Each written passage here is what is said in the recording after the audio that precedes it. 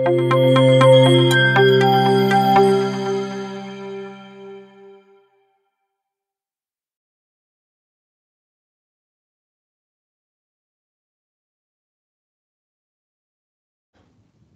everyone. We want in this video to summarize for you, the investors, the conference that was held today in the Tel Aviv Stock Exchange with the main speakers. So let's start.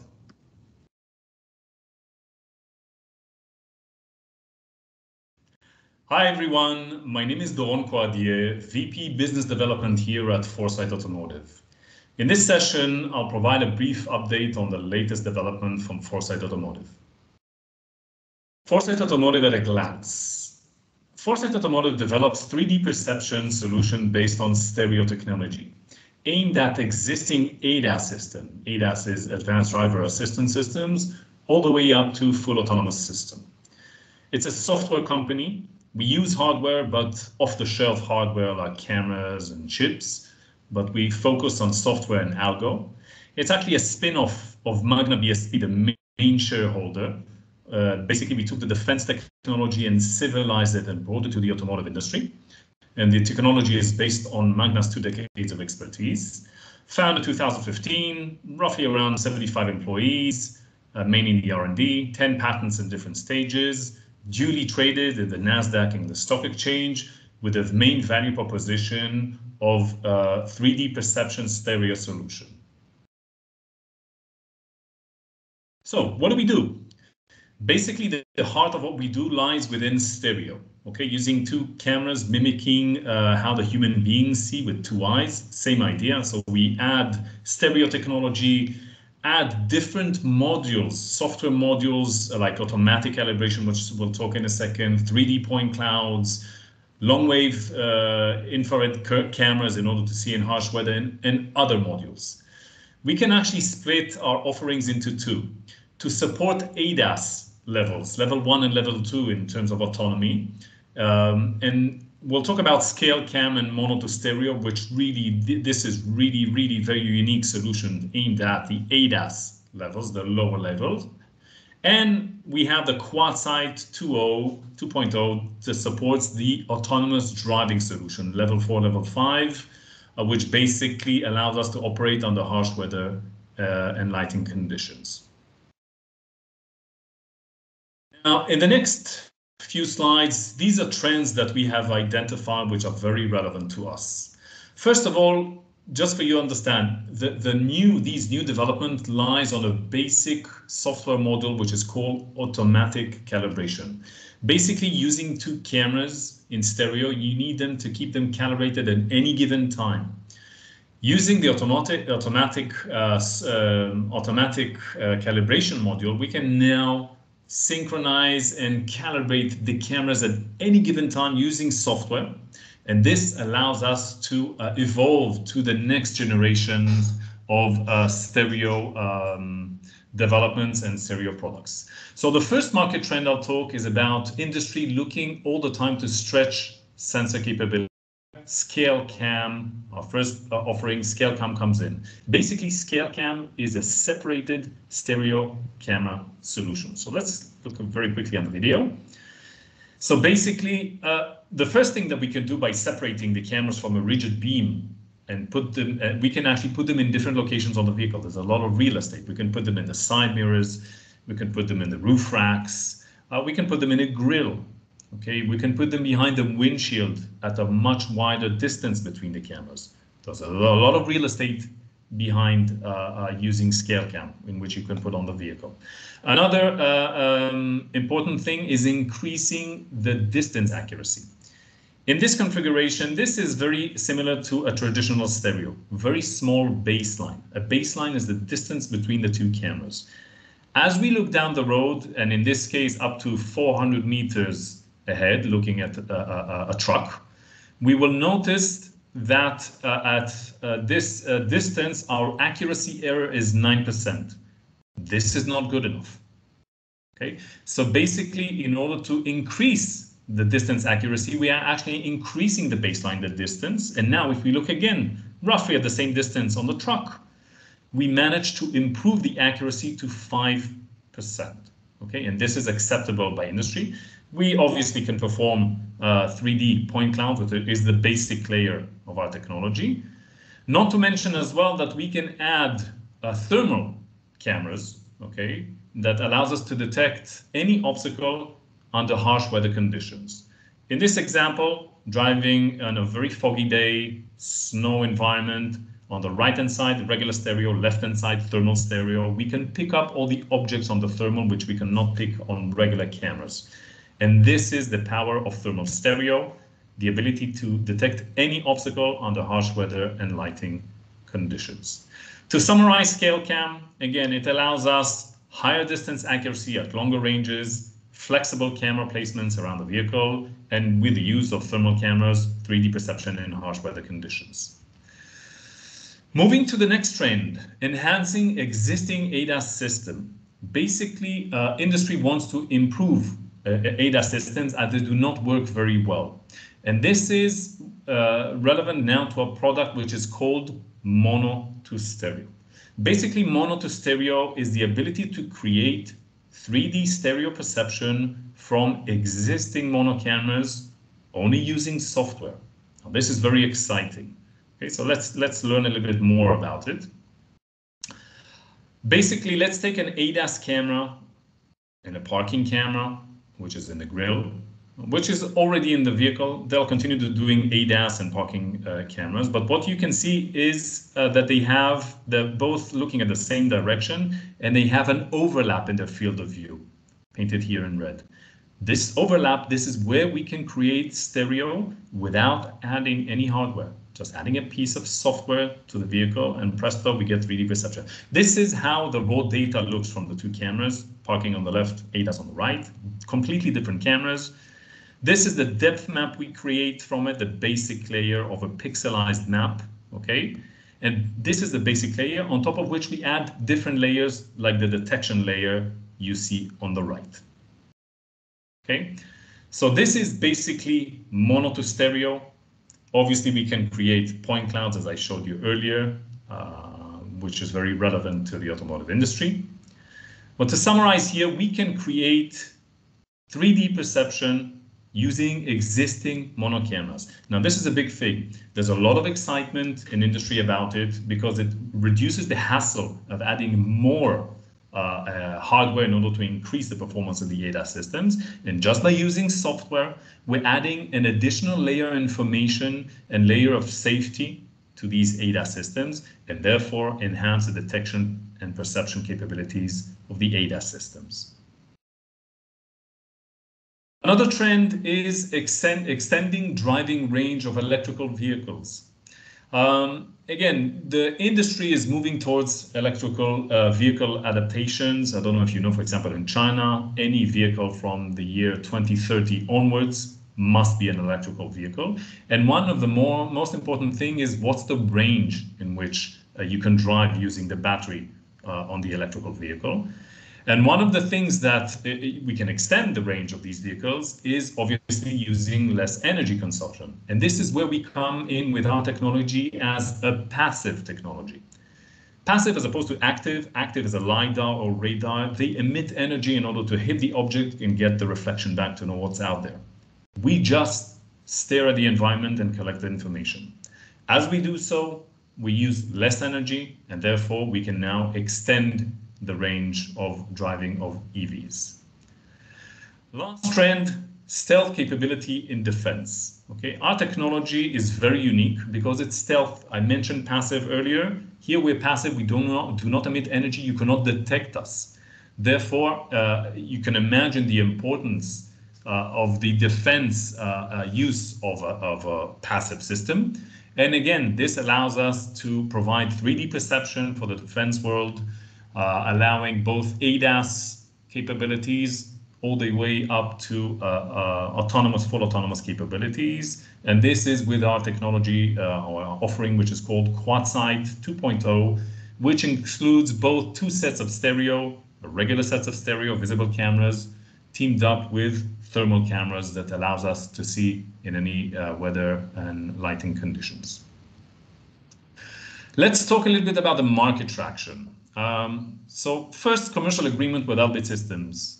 uh, I don't know if you know, but back in mid 2019, we signed a commercial agreement. And since then, I think, you know, we really progressed with Elbit, which the peak of it is a customization project with Elbit for 3D perception solutions to meet the end customer of Elbit, which is the IDF, the Israeli Defense Force.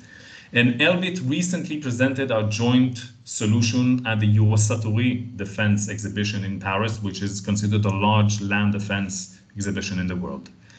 In addition to that, we successfully completed a proof of concept with a leading European OEM, and we announced a few uh, interesting POCs, one with ZF, which is a global tier one, ranked number three in the world. And this uh, follows the winning of the CES pitch event held at uh, CES event in 2022, followed by a, a, joint POC with Hitachi, which is a global stereo vision tier one. Uh, recently, we just announced a joint POC with a leading American EV manufacturer. And obviously, we're continuing to conduct multi, uh, multiple uh, POC projects with leading OEMs and tier ones in North America, Japan, Europe, and China. Just to dive in and talk a little bit about a few of these proof of concepts. So first one is ZF. ZF is number three in the world. Number one is Bosch. Number two is, uh, is Denso. And number three is ZF. Huge tier one in the world of automotive. We actually won the CES pitch event that was held in January 2022. It was an event, uh, sort of a competition between different startups in the field of ADAS, and we won the first prize. The first prize is actually a joint proof of concept with ZF. Um, and it's based on the mono to stereo. What I mentioned earlier, the ability to create stereo from existing uh, um, existing uh, cameras on the vehicle. We just recently completed the POC and now we're talking about uh, next step. So very, very proud of ZF. The next POC with Hitachi. Hitachi is a global stereo vision tier one, very famous in the world. They're developing stereo vision solutions, for example, for Subaru, Suzuki, and others. And again, this follows a successful evaluation of QuadSight vision system prototype, which they tested previously. And now we're doing a joint proof of concept, again on mono to stereo. Uh, and we're very happy to do so with Hitachi, which are experts in the field of stereo. Elbit Systems. I mentioned Elbit Systems, and again, I think this is very exciting because what we actually done, we actually replaced the LiDAR solution which was used by Elbit Systems by our solution, our passive stereo technology solution. So this is really exciting.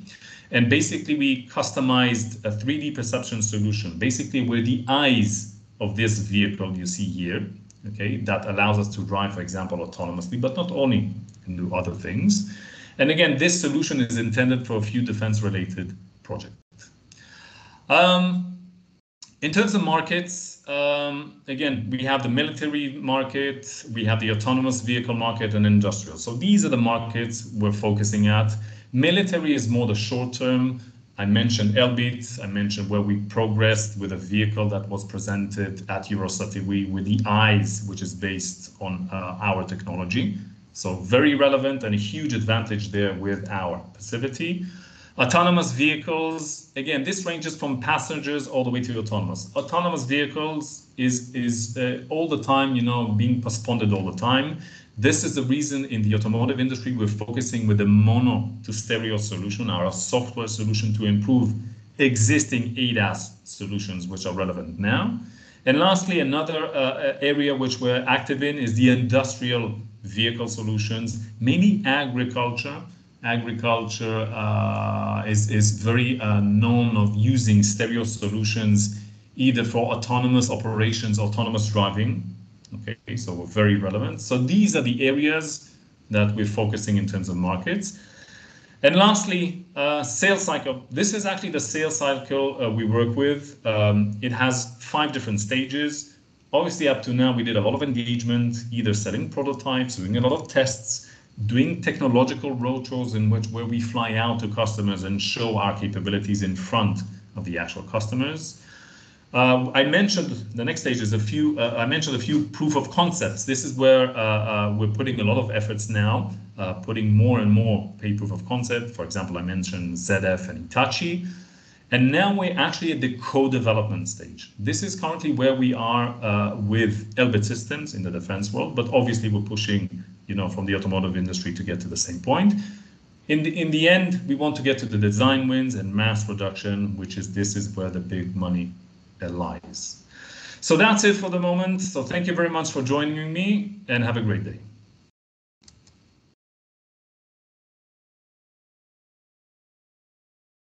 Hello, I'm Oren Bar-On, Vice President of Global Operation and Business Strategy. I'm glad to be here today and welcome.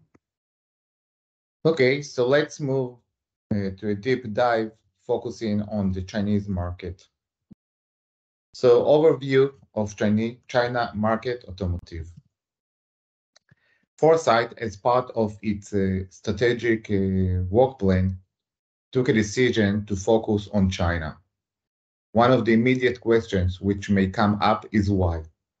So looking into a, a McKinsey & Company article, which has stated that already today, China is the largest automotive market in the world. Not more than that, already back in 2009, China paced the United States to become the world's largest and most important automotive market. Having said that, of course, China market is not something that you can ignore. You can decide whether to jump in or to stay out, but you can you must learn the Chinese market and its trends. China is not just about automotive, but also China has the potential to become the world's largest market for autonomous vehicles. In McKinsey & Company forecast, such autonomous vehicles could, could account for as much as 60% of the passenger kilometers traveled in 2040. So it seems like way ahead, but you need to bear in mind that if you want to be in the game in 2040, you are starting now the development of such solution and you should join the market in China if you want to be a major player. Based on that, as I mentioned, we took a decision to take part in China uh, journey. Next graph present the Chinese power in terms of autonomous vehicles. On the left-hand side, you can see the, the, how, the traveled kilometers by vehicle type. And starting 2030, there are semi-autonomous or autonomous vehicles starting uh, to be traveled on the roads. In terms of percentage, on the right-hand side, you can see the percentage of such a portion, and that starting from 2030, almost 15% of the vehicles traveled on China road will be autonomous, and by 2040, 60% of the vehicles traveled in China roads will be autonomous vehicles. As I mentioned, you need to be in the game today if you want to be part of the solution in 2030 and definitely 2040. If we look on the use cases of autonomous vehicles in China, today, such autonomous and semi-autonomous vehicles are already on the road, focusing on low-speed solutions, such as uh, geofence uh, solutions in terms of airport, aircraft, uh, campus, university campus, and others. But already toward 2027, you can see that the use cases in which China will use autonomous vehicles will be not just low speed, but also for nighttime driving, uh, peak hours, and other scenarios. And by 2032, the technology in China will be able to support almost 100% of the use cases and scenarios in which autonomous vehicles will be in use, including high-speed and urban uh, solutions. So China is doing major steps into becoming a world leader of autonomous vehicle solution.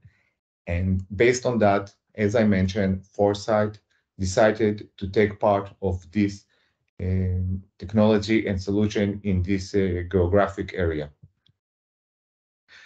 So what is the opportunity? In Beijing, actually, they are spending 1.5 hours every day on commuting uh, traffic.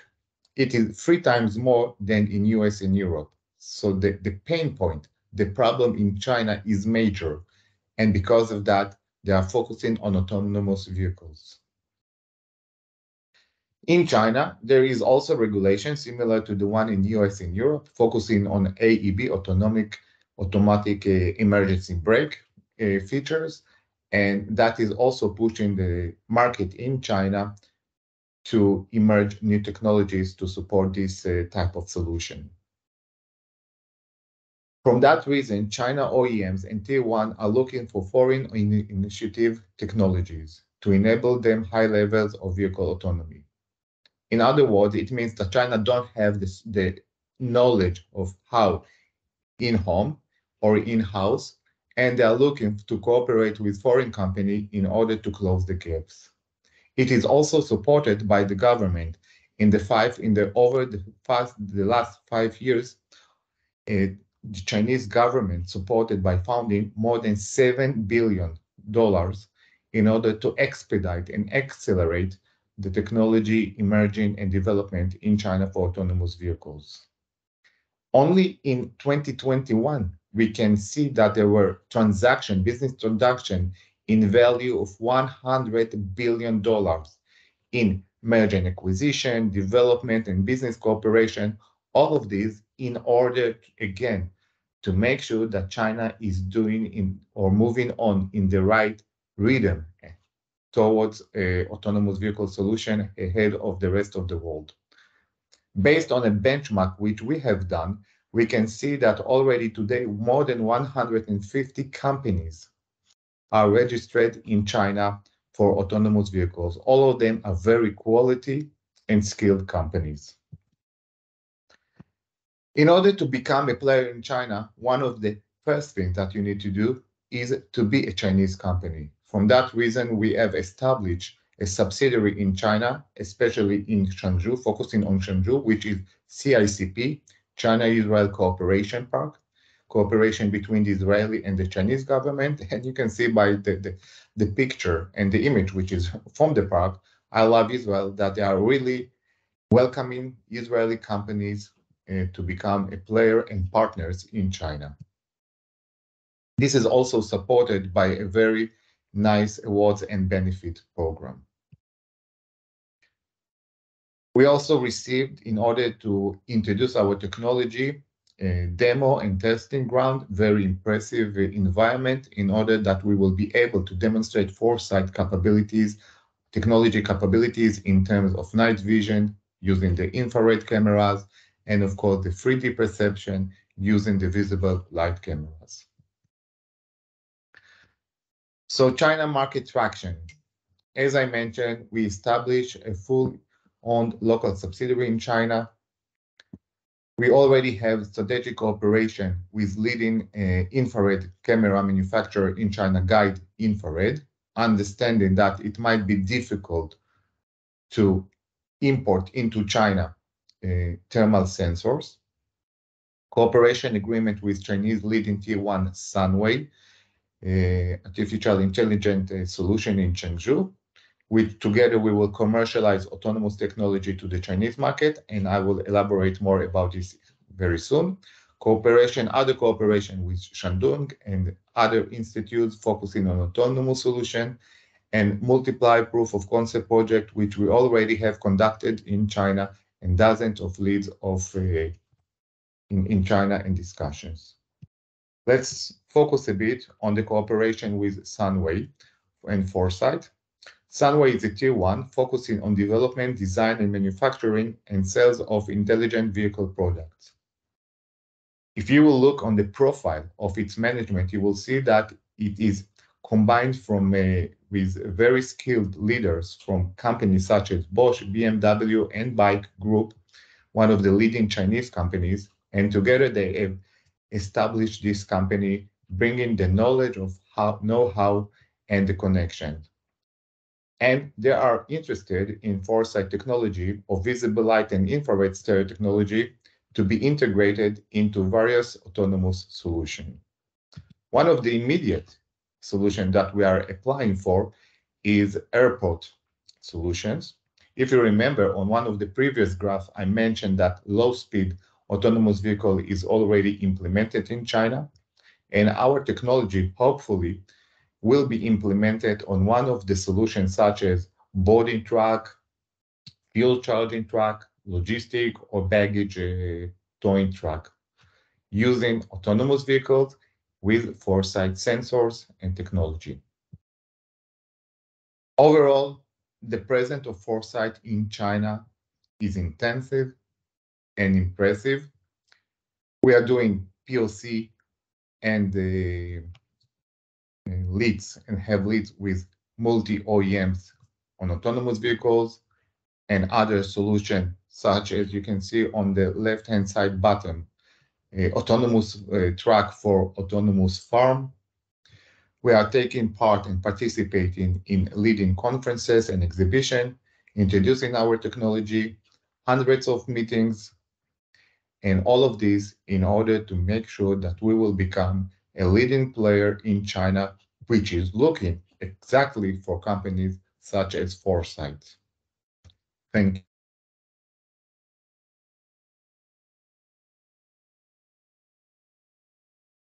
Hello, everybody. My name is Dror.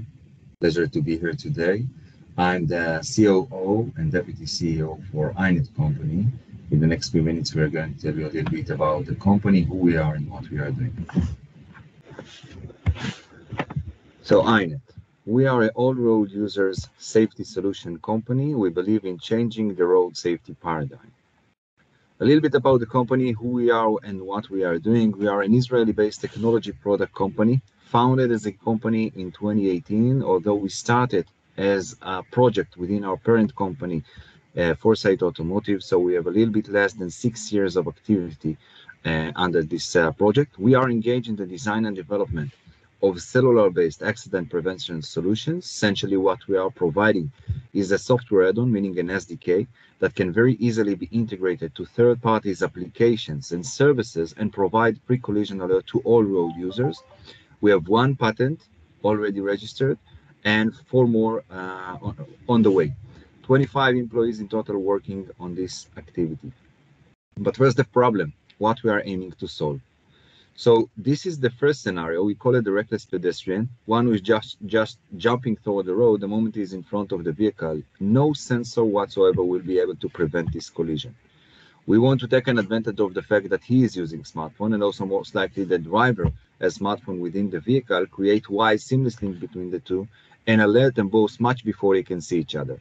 Meaning that we are providing two innovative approaches. The first one is that in comparison to standard advanced driver assistance systems technologies, which analyzes a very designated field of view, Eye-Net analyzes the entire space and ca capable of calculating potential collision and alert to the uh, potential participants much before they can see each other.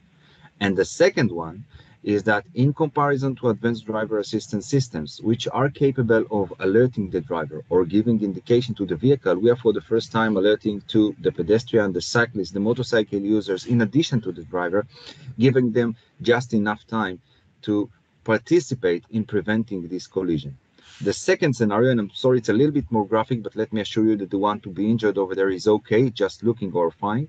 It's the micro-mobility vehicles within urban environments, those that tend to be the most vulnerable road users today uh, in terms of statistics. We're also capable of preventing such collisions.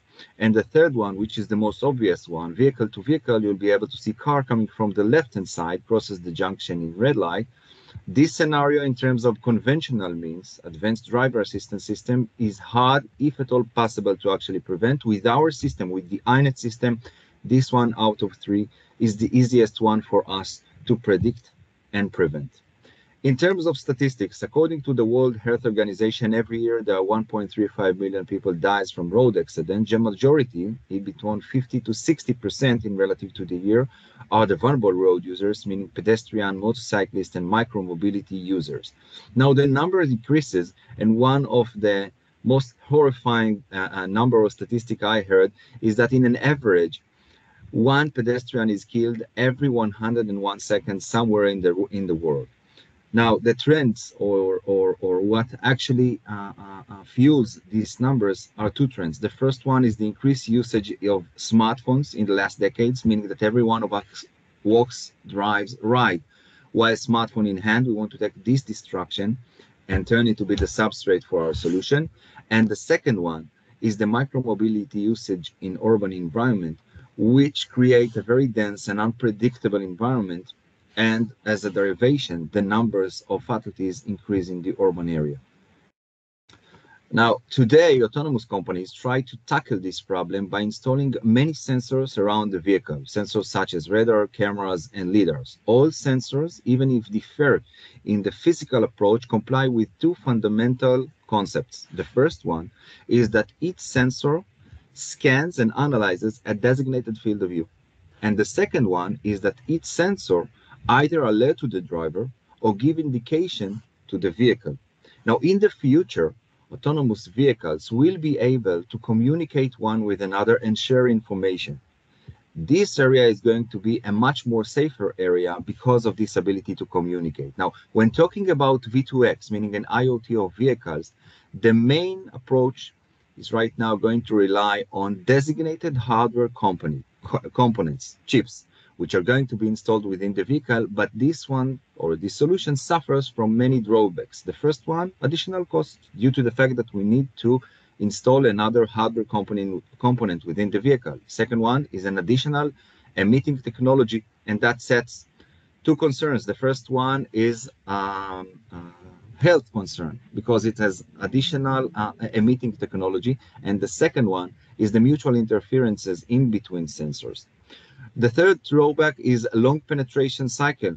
Autonomous uh, uh, or automotive uh, industry is very long paced penetration cycle, uh, subject to binding regulation, very tough one, and effective mainly, if not only, for vehicles and infrastructures because the pedestrian and the cyclist user do not have such or will not have such uh, uh, components in their hands.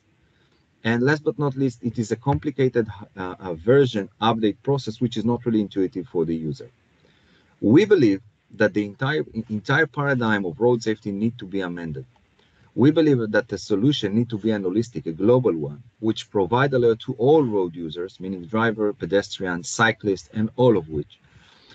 The ability to foresee oncoming collision without a designated field of view, to be able to utilize already existing infrastructures without the need to install an additional component with a very short penetration cycle, no additional cost, and very easy and intuitive for the user. And here is where Eye-Net enters. In terms of our solution, we have three solutions right now, but the concept of our fundamental, the core development of the solution is the ability to prevent collisions. A little bit about, about how it works, then every mobile which installed with our software, transmit its location to our cloud servers. The servers then aggregate information from all users and distribute it wisely, effectively making each of the smartphone to be aware for the rest of the smartphones or smart devices in its vicinity.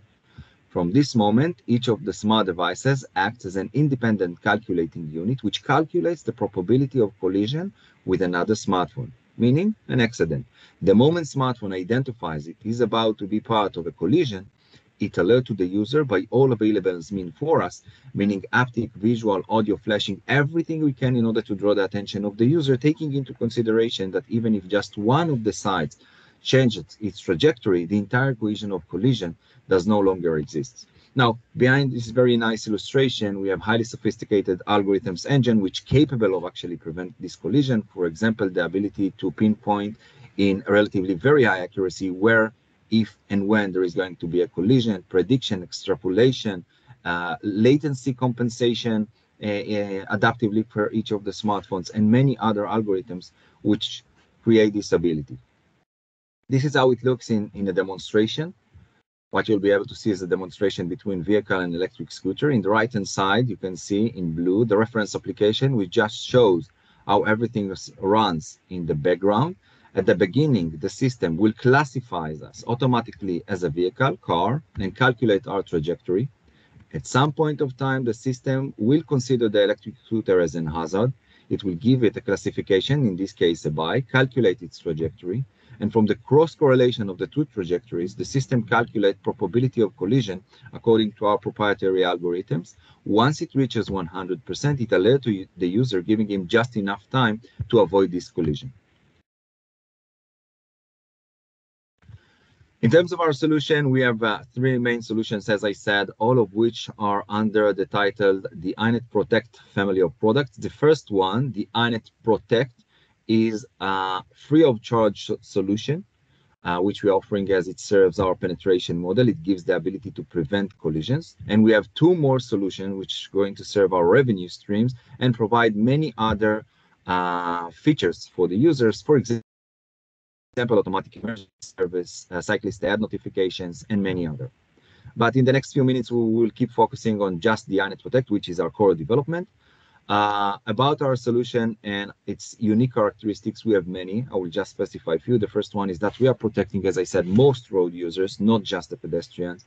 We are capable of working under all weather and lighting condition because we are not really relying on any kind of a sensor. We are essentially relying on cellular infrastructures, which are not really prone to be affected by lighting or weather conditions. Our solution is very accurate derived from the algorithm engine that we developed for uh, almost six years. We are GDPR compliant, meaning that we are complying with the very, very tough regulation of uh, privacy, uh, the European uh, privacy uh, user uh, regulations. We are a totally anonymous service which requires no registration, no profiling whatsoever.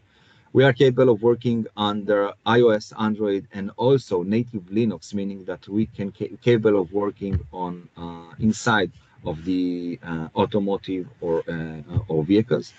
Hands-free meaning that we do not really require any kind of involvement from the user, everything running as a background process, which alert in the critical moment. Now, in terms of business traction, um, uh, what we did in the last in the last few years to actually be able and declare our solution ready for commercialization we passed thousands of simulation, hundreds of demonstration, dozens of trials around the world with dozens of pilots with a few significant companies. Large-scale trial here in Israel with uh, approximately 8,500 users.